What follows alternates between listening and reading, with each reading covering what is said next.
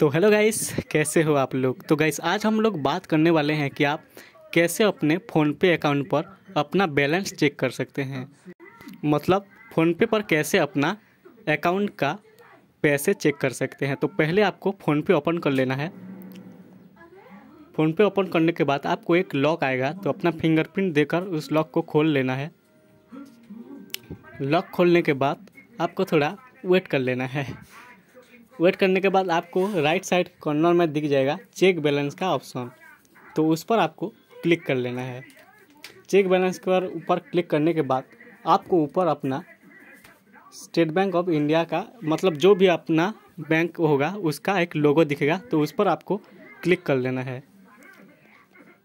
तो मैं अपना, उस पर क्लिक कर लेता हूँ. उसके बाद आपको एक यूपीआई पिन आएगा तो आपका अपना यूपीआई पिन डाल देना है छः डिजिट का.